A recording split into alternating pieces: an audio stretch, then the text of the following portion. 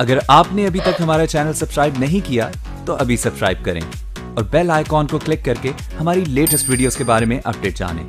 Subscribe कीजिए और हम आपको लिए चलेंगे आपकी फेवरेट वीडियो की तरफ़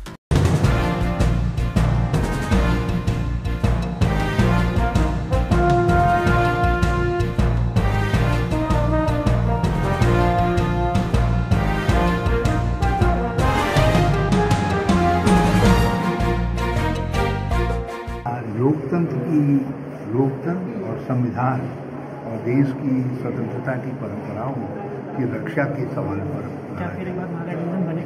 आ, ये महागठबंधन का नहीं बल्कि ये ऐसी सारी ताकतें स्वाभाविक रूप से एक जगह आएँगी और ये ताकतें जो है जो आज ताकतें हैं जो आ, देश के अंदर असहिष्णुता का वातावरण खड़ा कर रही है जो लोग लोकतंत्र लोकतांत्रिक परंपराओं को और लोकतांत्रिक संस्थाओं को कमज़ोर करने का काम कर रहे हैं। जो लोग जो है, अहंकार का सहारा ले रहे हैं। घटना की घटनाएँ दोनों हमको देश और समाज दोनों के रूप में सर्वसार कर रहे है।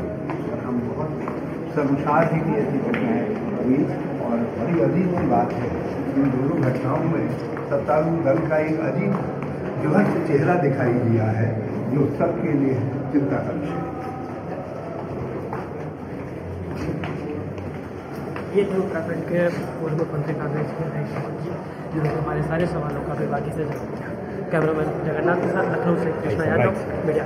अगर आपने अभी तक हमारा चैनल सब्सक्राइब नहीं किया तो अभी सब्सक्राइब करें और बेल आइकॉन को क्लिक करके हमारी लेटेस्ट वीडियोस के बारे में अपडेट जानें। सब्सक्राइब कीजिए और हम आपको लिए चलेंगे आपकी फेवरेट वीडियो की तरफ़।